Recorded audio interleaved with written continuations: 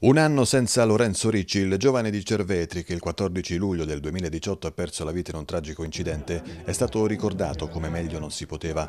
In un torneo di calcio a 8 a Cervetri e la Dispoli le squadre di calcio dove ha militato.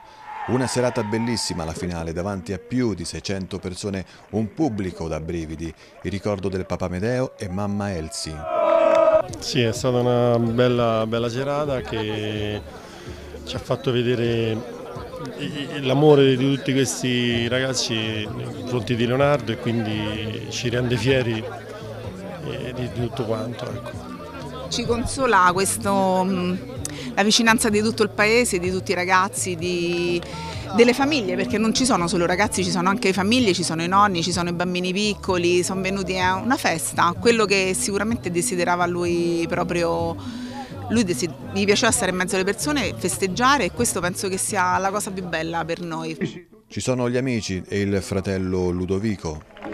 Eh beh, sì, è stato un torneo organizzato e voluto dagli amici dove siamo stati aiutati anche molto dalle attività locali che hanno contribuito con degli sponsor abbastanza importanti, dove i campi ci hanno ospitato, tra cui l'Angelo Sale di Ladispoli e l'Enrico Gallo di Cervetri, e stata, tutta la città ci è stata vicina, c'è stato un grosso numero di persone che è sempre venuto a vedere le partite, è stato un torneo bellissimo, è prima edizione, molto bello e speriamo di ripeterlo durante l'estate.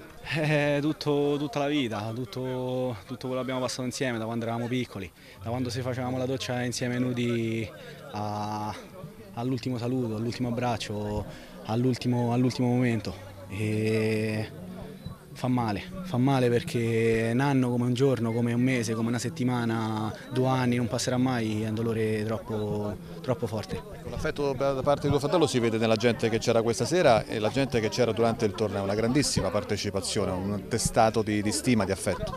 Eh sì, lui era, era un ragazzo molto solare, poi lo conosco meglio di tutti e niente, può, cioè, era un ragazzo perfetto in tutto, in ogni, in ogni cosa.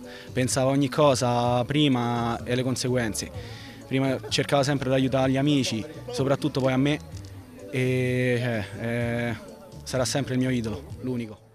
Insomma, l'indimenticabile Cocciò rimane nel cuore di tutti.